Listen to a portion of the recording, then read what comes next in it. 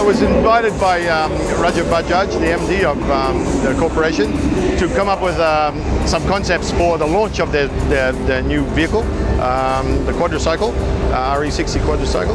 So I thought, well, maybe we can paint them um, in the colors of their national symbols in my abstract style. So I, I did a lot of research and um, I came up with five iconic symbols we have the, the, the, tiger, which is a national animal of uh, India. We have the peacock, the national bird. We have the mango, which is a national fruit. We have also um, the lotus flower here behind me, which is our national flower.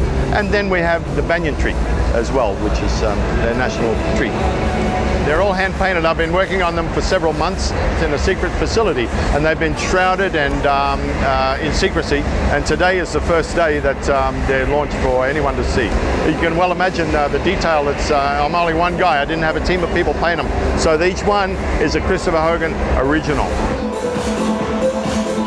These are just um, uh, promotional tools to stimulate some interest in the launch of the vehicles themselves. Uh, but yeah, these will become part of the Bajaj private collection.